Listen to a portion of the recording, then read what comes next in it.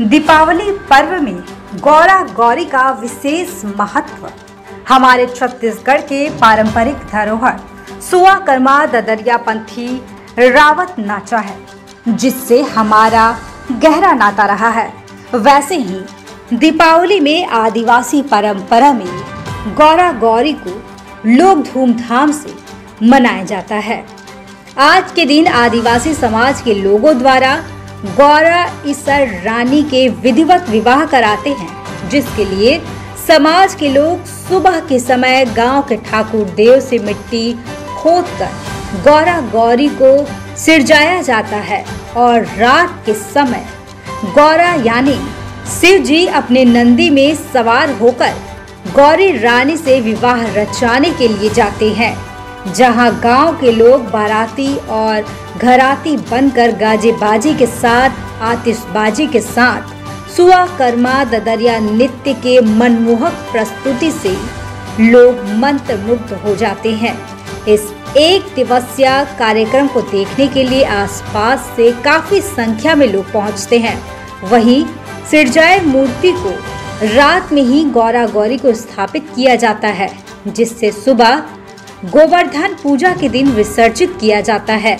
इस संबंध में गौरा समिति के अध्यक्ष बजराहा ध्रुव ने बताया कि यह परंपरा वर्षों से पूर्वजों के जमाने से चले आ रहे हैं, जिसे लक्ष्मी पूजन के दिन शिवजी और माता पार्वती की स्थापना का विशेष महत्व रहता है। इसे ग्रामीण एवं पहाड़ी वनांचल क्षेत्र में ज़्यादातर देखने को मिलता है। इसको मानते हैं। दीपावली में इसका ज़्यादा महत्व रहता है। भगवान भोले बाबा शिव जी का मतलब ये शादी होते हैं। इस प्रकार से हमारे लड़के बाल बच्चे का शादी करते हैं, उसी प्रकार से दीपावली में उनका माटी लाया जाता है, माटी का शिव जी बनाया जाता है, पार्वती बनाया जाता है और उनको दो जगह रखा जाता है। एक जगह शिव जी रहते हैं, एक जगह माँ पार्वती रहते हैं और उनको बारात जाते हैं। जिस घर में रहते हैं हैं, उस घर से बारात निकलते हैं। भोले बाबा का जहाँ माँ पार्वती रहते हैं, वहाँ जा करके उनका बीच में परभवनी होता है, जो रीति रिवाज के साथ भगवान शिव का बारात जाते हैं, लोग वहाँ जा करके टिकावन पबावन सब करते हैं।